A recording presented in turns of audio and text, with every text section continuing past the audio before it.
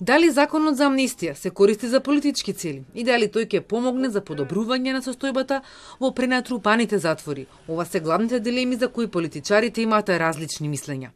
Министерот за внатрешни Оливер Спасовски го повтори личниот став дека законот за амнистија не го гледа како решение за затворските проблеми. Ставот на партијата вели ќе го кажат претениците на седница. Неговиот колега во владата, вице-премиерот Маричич, смета пак дека токму амнистијата може да помогне во растоварување на затворите. Со законскиот текст не се постигнуваат ефекти и дека треба да се размислува стратешки во правец на создавање на услови за да може тие кои што се за издржување на казни да ги издржуваат казните, а не преку амнестии да ослободуваме простора во казнено-поправни установи. Се додека целта на тој закон е оние кои што се казнети со помали казни или оние кои што веќе издржале голем дел од својата казна да можат да да бидат ослободени, во се додека има таа цел, мислам дека треба сериозно да се разгледа бидејќи знаеме дека тоа е еден од начините како да се растоварат затворите. Дуи ќе го подржи законот. Го гледаат како можност за подобрување на условите во затворите.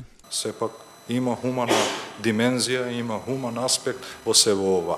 А за да нема шпекулации во јавност, со овој закон не се амнестират убиците. Со овој закон не се амнестират тие што злоупотребиле службена положба.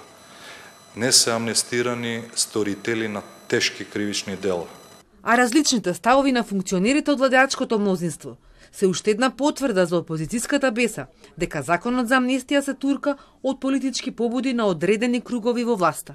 Има многу противречности. Изјави од министри, од пратеници, од многу страни, кои луѓе ќе бидат вклучени во ова амнестија, кои нема да бидат И затоа не би сакал да давам конечен став додека да имаме конечна ситуација, конечен текст на предлог закона за да можеме за да можеме да одлучиме. Дека се работи за политичка пропаганда и политичко профитирање пред избори, тоа е неспорно.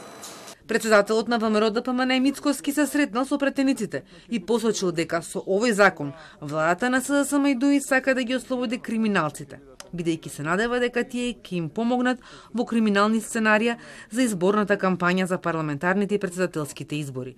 Според Мицкоски, неприфатливо е докажани криминалци, вклучително и оние од случајот Монструм, да бидат помилувани или ослободени, додавајки дека обидите на власта за да ги ослободат докажаните криминалци всушност се надвор од здрав разум. Претениците на ВМРО ДПМН ќе го блокираат законот за амнистија во собранието. А ако се стави европско знаменце, ќе го напуштат собранието, најави Мицковски уште викендот. Лога му одговори дека законот за амнестија е искако оној од 2018 кој беше поддржан од ВМРО ДПМН. Немањето став за битни прашања и политиките на блокада подобро се изразуваат со напуштање на собранието и тоа е гест за поздравување од наша страна, напиша Лога.